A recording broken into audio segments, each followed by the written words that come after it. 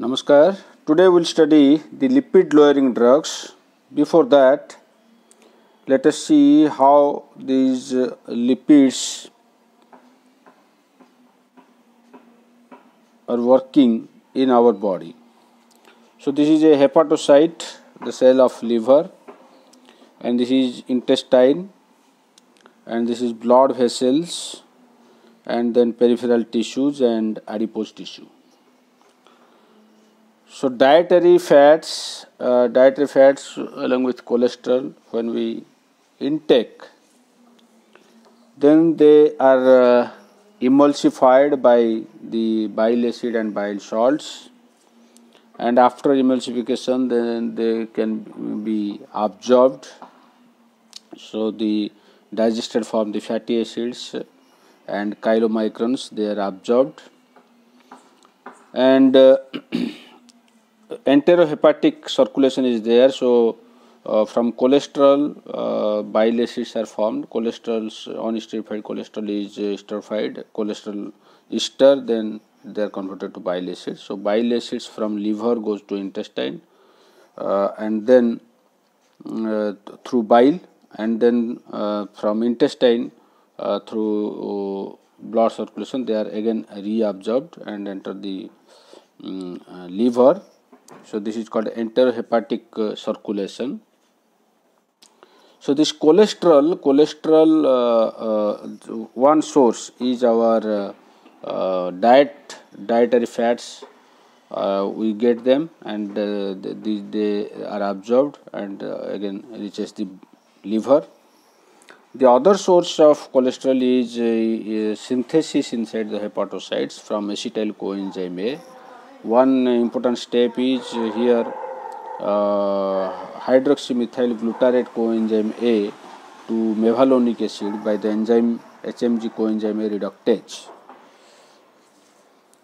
Then this cholesterol along with triglycerides which are uh, uh, synthesized from the free fatty acids. Uh, so cholesterol, triglycerides, uh, uh, they form the very low density lipoproteins. So lipoproteins uh, already uh, we have discussed in uh, last class the lipoproteins are spherical particles of water soluble proteins and they transport these lipids like triglycerides cholesterol and cholesterol esters so we, we have discussed different types of lipoproteins uh, very low density lipoprotein, uh, low density lipoprotein, high density lipoprotein, and uh, chylomicron and chylomicron remnants. So, here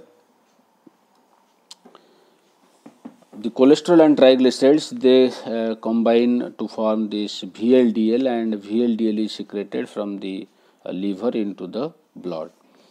Then by the action of lipoprotein lipase in the endothelial blood vessels, uh, endothelium uh, of blood vessels, by the action of lipoprotein lipase VLDL is converted to your in, uh, intermediate density lipoprotein IDL and then again by the action of lipoprotein lipase they are converted to LDL low density lipoprotein. So you can see in very low density lipoprotein the triglycerides are more than the cholesterol esters and uh, then the triglycerides uh, by the action of lipoprotein lipase are released uh, into the uh, peripheral tissues and adipose tissues. So the triglyceride decreases. So in intermediate density lipoprotein, triglyceride is equal to cholesterol ester, uh, and uh, in LDL, uh, mostly cholesterol esters are there. So triglycerides are again released, and then uh, uh, this LDL, uh, there is LDL receptor on the hepatocytes, and this LDL receptor um, then um, they uptake this LDL. So that is another source of cholesterol. So cholesterol source number one is synthesis, number two is from the diet, and number three by uptake of uh, LDL through LDL receptors into the hepatocytes. Then these triglycerides uh, after uptaken into the peripheral tissues and adipose tissue they are converted to free fatty acids and these free fatty acids are taken by the liver and from this uh, the triglycerides are formed and uh, with cholesterol they form VLDL and secreted VLDL. So this is all about uh, uh, this uh, um, um, lipoproteins and uh, the all these drugs and then there is another one called CETP cholest cholesterol ester transfer protein cholesterol ester transfer protein the, this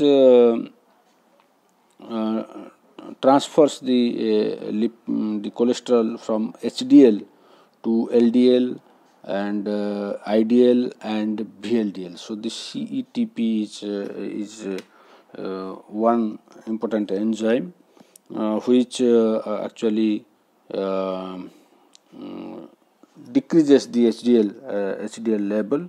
So the drugs which we can use to, as lipid lowering drugs can be number one if we inhibit the uh, synthesis of cholesterol so hmg coenzyme reductase inhibitors like uh, statins then uh, number two we can use bile acid binding resins uh, which will uh, which will inhibit the enterohepatic circulation and absorption of uh, cholesterol and direct absorption of cholesterol can be inhibited by ezetimibe then uh, the fibrates and nicotinic acid they inhibit the secretion of VLDL.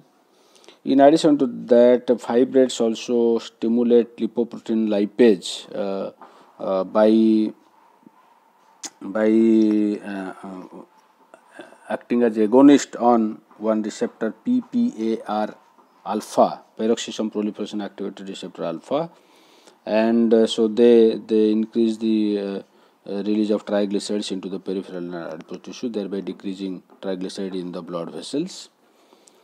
Then uh, all these resin statins and fibrates they uh, they increase the uptake of LDL through hepatocytes. In addition to them we can have this uh, nicotinic acid uh, this nicotinic acid also inhibits the conversion of triglycerides into free fatty acids.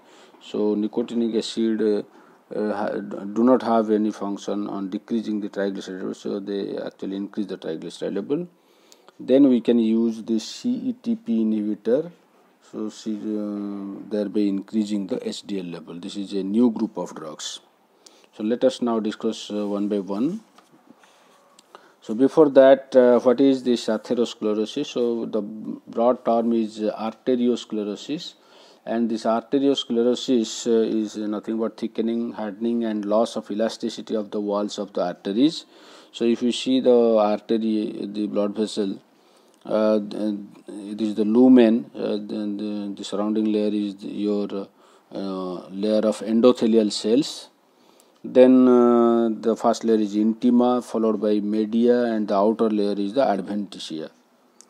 Okay, and uh, arteriosclerosis it affects the small arteries and arterioles then uh, Monckeberg uh, medial calcific sclerosis. So this affects the medium sized muscular arteries uh, mainly due to calcific deposits and in uh, persons older than 50 years. And atherosclerosis is the most common. Uh, it affects the large and medium sized muscular arteries like your coronary artery and the elastic arteries like your aorta carotid artery. And then uh, hyperlipidemia is a major risk factor of causing atherosclerosis and hyperlipidemia when we say uh, there is increase in LDL, increase in IDL, increase in chylomicron remnants and uh, the again increase in uh, lipoprotein A and there is decrease in HDL. So this hyperlipidemia can be uh, treated by lipid lowering drugs and the first line uh, lipid lowering drugs are uh, the statins or HMG coenzyme reductase inhibitors, bile acid binding resins, cholestyramine, uh, colesevelam and uh, drugs which inhibit intestinal absorption of cholesterol like ezetimibe, CETP inhibitors uh, uh, like anacetrapib, torcetrapib and the rest of the drugs are the second line drugs uh, the drugs which activate uh, lipoprotein lipase uh, they are the PPAR alpha agonist like fenofibrate, bezafibrate and drugs which inhibit VLDL secretion and uh, inhibit lipolysis like niacin and or nicotinic acid and others uh, like fish oil, guggul gugulipid and antioxidants like probucol etc. So, we will discuss the mechanism of action of uh, uh, few important drugs and one is our HMG coenzyme reductase inhibitors are called statins, atorvastatin, rosuvastatin, simvastatin, pravastatin, lovastatin, fluvastatin, mevastatin. So, they inhibit the HMG coenzyme reductase uh, and because of that there will be decrease in cholesterol synthesis and because of the decrease in cholesterol synthesis in the hepatocytes uh, there will be increased expression of LDL receptors uh, so that uh, the other uh, source of uh, cholesterol can be there and because of increased expression of LDL receptor the cholesterol uptake the LDL uptake will be there and because of that the LDL cholesterol will decrease in the blood vessels. So, this is the mechanism of uh, HMG coenzyme reductase inhibitors and they are associated with side effects like myositis, hepatitis, and angioedema. Then bile acid binding resins uh, similarly they sequester the bile acids uh, in the uh, intestine and because of which uh, mm, they decrease the absorption of dietary cholesterol and uh, the intrahepatic circulation is inhibited. So because of that uh, there will be increased metabolism of cholesterol into bile acids so there will be decrease in cholesterol in the hepatocyte. So the, uh, the there will be increased expression of LDL receptor and uh, LDL uptake will increase. So LDL cholesterol will decrease in the blood vessels. So this is the mechanism. They don't have uh, uh um, that much systemic toxicity and the major side effect is your GI upset, gastrointestinal upset. So next is our uh, fibrates and the, all these fibrates like gemfibrozil, fenofibrate, ciprofibrate, clofibrate, bezafibrate. All these are agonists of uh, peroxisome proliferation activated receptor alpha and uh, this is a nuclear receptor because of which there will be activation of the peroxisome proliferation response elements uh, which regulate uh, the gene expression. So, there will be increased expression of lipoprotein lipase in the capillary endothelial cells and adipose tissue because of which uh, um, there will be uh, decrease in triglycerides in the blood blood. Then uh, they stimulate the fatty acid oxidation in the uh, uh, liver. So because of again fatty acid oxidation in the liver so because of that there will be no triglyceride production and so there will be no VLDL synthesis. So decreases the VLDL secretion by, by the fibrates and again because of that there will be increased LDL uh, receptor expression and uh, uh, increased uptake of LDL cholesterol uh, so that will decrease the LDL cholesterol in the blood vessels. So this is all about the mechanism of fibrates and side effects are, are myopathy, gallstones, hyperuricemia etc. Then another drug we will discuss uh, that is uh, niacin or nicotinic acid. Mm, so you can see the figure here in adipose tissue or from triacylglycerol uh, the free fatty acids are formed because of the action of lipoprotein lipase. Then these free fatty acids are uptaken into the liver again to form the triglycerides uh, which will synthesize the uh, VLDL in combination with cholesterol or uh, they will form uh, um, VLDL and this uh, VLDL is secreted into the blood vessels and in inside the blood uh, vessels VLDL is converted to LDL. So, uh, niacin by inhibiting lipoprotein lipase in adipose tissue uh, they decrease the free fatty acids uh, formation in adipose tissue. So, there will be uh, decrease in free fatty acids in the in the liver. So, free fatty acids from adipose tissue are released into the plasma then from plasma it is uptaken into the liver. So, in the liver free fatty acids will be less. So, there will be no triglyceride synthesis. So, there will be less VLDL secretion. So, unless there is triglycerides uh, there will be no VLDL. So, triglyceride plus cholesterol there will be formation of VLDL. So the, these drugs uh, the use is very limited because of the severe side effects like palpitation flushing liver dysfunction hyperuricemia impaired glucose tolerance etc so this is all about uh, the lipid lowering drugs. Thank you